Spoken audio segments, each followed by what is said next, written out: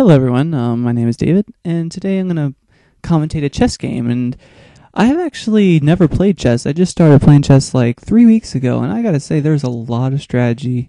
And a lot of this is basic strategy that I learned from watching a channel called uh, the Chess Website. I'll put a link below because honestly, I learned a lot. So anyway, I I'm white and I play e4, which is a very common move. It gets center, you know, you get control of the center, and then he blocks this at e5, and then I bring my knight, attacking the pawn, uh, you know, gaining more control. He then he does something, um, putting pawn to, uh, you know, d6, which honestly I think that if you're gonna protect a pawn, um, I think that you should do that in the middle of the game. Like you should, like, and this goes over obviously all the time, and the chess website, and most people that I don't know if you're ever su- subscribed to them, you're, you're gonna hear a lot of things that are very similar. You know, you want your pawns to defend pawns, but I don't think it's good to do that really early on the game because now you don't really have any other pieces developed except for your pawn. So I developed more of my minor pieces. I put my bishop here attacking the weakness of the king, the black king. And then he um, brings his pawn to, you know, a6 and I'm thinking what is he doing? You know, that doesn't do anything. And I realize that he's trying to attack me with his pawns. Which to me, you should never only solely rely on your pawns. And, you know, if you have minor pieces versus pawns, the minor pieces can just hop right over them, slip right through them. So they're really not a good idea to attack with their pawns so early on. So then I develop my knight trying to you know hone in on this square. It's it's a pretty good fort right here. Um, he brings his pawn like I saw. You know, when I saw this, I just laughed because I knew that this this is not a good way of playing. So I decided to you know bring my bishop to this little fort. Um, now I am attacking the rook, and he of course sees this and he brings it up. Now that's preventing him from castling on the queen side. So now I decide to castle. There's no, there's really nowhere I can go. I mean, I could go places, but I want to just play it safe while I can, not have to worry about any threats. And then he uh, continues his pawn thrust and attacks my bishop. So I decide to bring it back. Um, there's no reason to, you know, it's it's. And honestly, if you can, I, I I've done this a lot. I don't know if this is a good idea, but if you bring your pieces and you kind of like make the pawns like keep going forward, even though they'll pretty much all be in the center, it kind of like destroys any kind of defense the king would have later on in the game. So right now, you know, this side is completely messed up. I mean, even though they're kind of defending each other, none of the pieces are developed. You know, the knight can't go anywhere really. The bishop can, you know, it's blocking this, it's blocking that, so it's really not a good idea in my opinion. So he continues with his pawns, and I just laugh. Now, I would like to take this pawn. I mean, it's really not defended besides its queen. So what I do is I move my pawn. This way I can move my uh, knight up safely without having to worry about anything. He continues his incredible pawn attack, which is to me to me this is just kind of funny at this point. And then now I'm going to talk about something. This is a very interesting trap. This bishop right here is very key. This bishop is honing down on this weakness right here because there's nothing preventing, nothing defending this pawn right here except for the king. So I, of course, exploit this and put my knight here safely because my bishop's protecting it. Now he has to do something about this because if not, I'm just going to bring my knight here and then I'm just going to take either a queen or a rook. It's up to him. There's really nothing he can do. So he decides to just attack with his pawns. I mean, seriously, at this point, I'm kind of laughing because all he's doing is basically just pushing up his pawns. Not a good idea. So right now, I, you know, do what I talked about. Now I have this knight is completely safe. And then this is where he kind of messes up, and I kind of feel like, you know, I probably shouldn't upload a video where a person isn't doing that great, but it is kind of cool to see like how much like what what it really means for you know if you were to bring up pawns like how useless they are if you're only attacking their pawns and how important it is to have developed pieces. So then he kind of he brings his bishop here. I guess he didn't really see this the queen getting attacked, and he thought maybe once I attack his rook he can get his horse back. But then of course I just take the queen and then he takes his, with his king, now preventing him from castling either side. Now his king's completely defenseless. He has no development. This bishop can't do anything. This isn't do. Er, and basically, he just has his pawns, which I can just slip right through. I decided to bring my bishop up here to attack the rook, and not only am I attacking the rook, I'm actually like right in the center. You know, I have a very good center control with this bishop here. He sees this, but here's the funny thing about these bishops: they can just slip through anything. Uh, and a lot of people they miss it because you know they see a bishop, you know they're not really paying attention to how much of a reach a bishop actually has. And so he, of course, you know, he actually sent me a little chat thing. He's saying that he messed up completely and he felt like an idiot. But you know, you got to exploit it. So I take the rook, and then now he decides to attack my bishop with his knight. And then I decide to put him in check so I can kind of put my bishop in a nice little fort right here. So, you know, I can't really be attacked, you know, very well. You know, he would have to move his other minor pieces and just. It, I mean, really, right now I'm kind of in a good spot. So he decides to move his king, putting more pressure on my bishop. So I decide to get it out of there. There's no reason to stay there. And then he decides to move more of his pawns.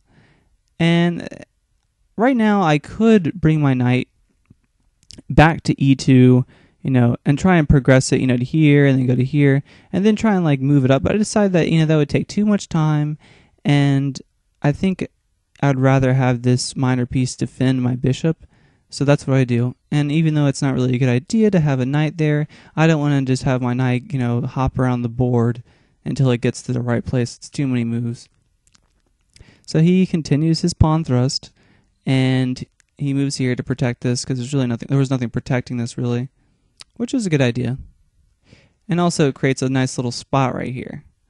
Okay, so I decide to move my pawn up here to kind of prevent this from moving forward, as well as kind of honing down on this little fort right here.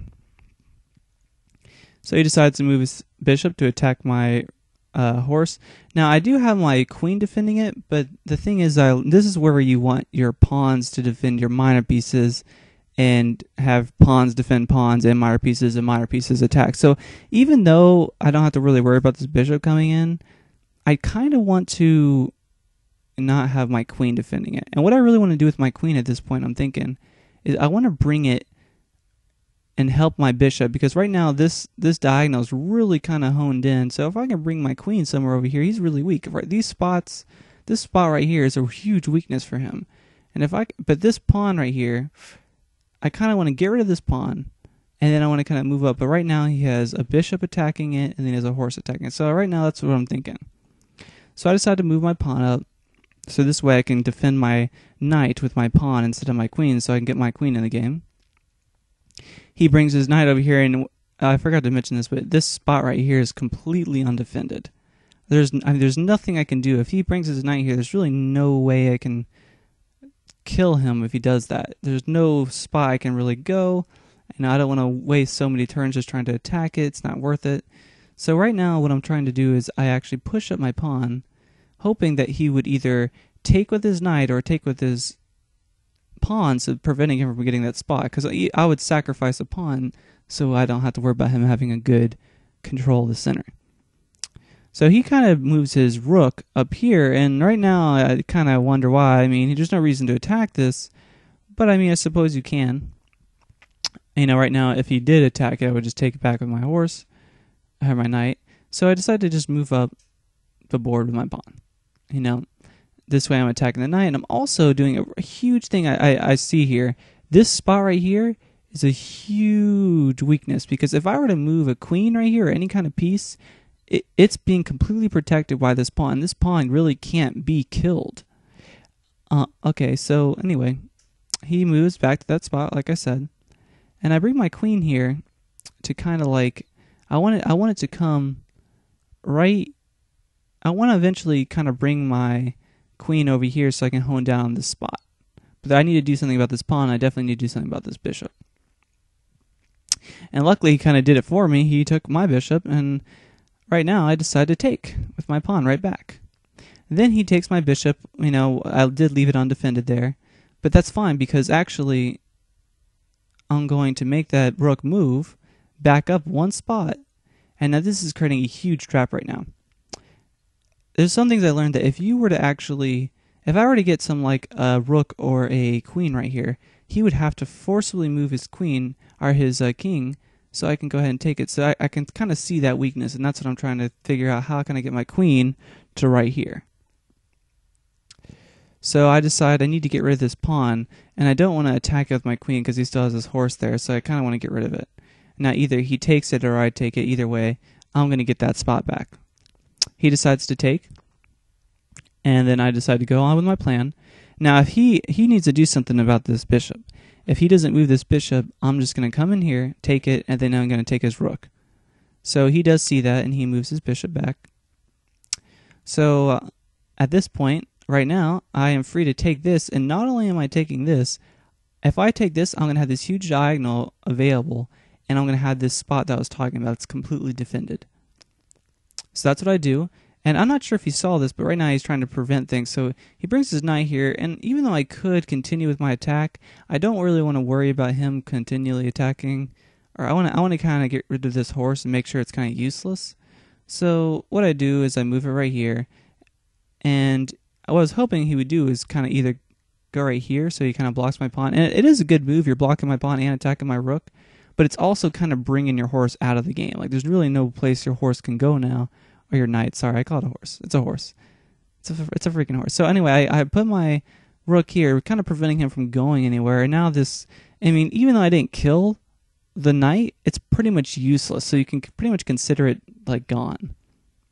So then he he does take a pawn that was undefended, but now this horse really is in a bad spot. It doesn't. It's not doing anything. So I continue with my plan. I bring up my queen. And from here, it kind of is just me getting him into checkmate.